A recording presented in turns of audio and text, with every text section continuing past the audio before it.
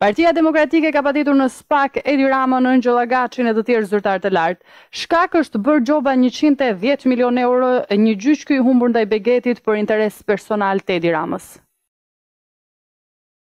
Ivi Kaso në emër të Partisë Demokratike ka dorëzuar në SPAK kallëzimin kundër personave kyç që po detyrojnë shqiptarët të paguajnë njëqind e dhjetë milionë euro. Shkak është bërë çështja e njëqind e dhjetë milionë eurove të humbura në gjyqin me biznesmenin Becchetti nuk mund të kalojë vetëm me deklarata politike apo zemërimin e ligjshëm të qytetarëve. Kush u ka shkaktuar dëm qëllimisht shqiptarëve, duhet të përgjigjet përpara drejtësisë.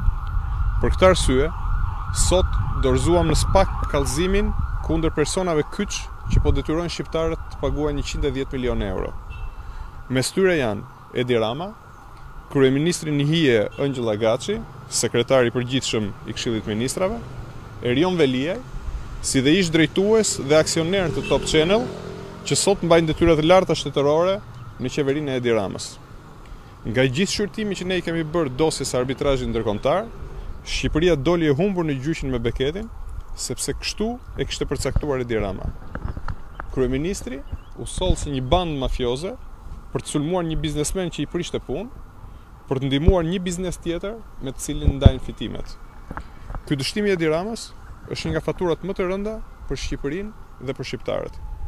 Është pjesë e dështimeve 8 vjeçare që kanë varfëruar qytetarët, e kanë bërë biznesin e pasigurt, kanë larguar investimet e huaja, kanë mbyllur vendet e punës dhe na kanë mbajtur larg Europës.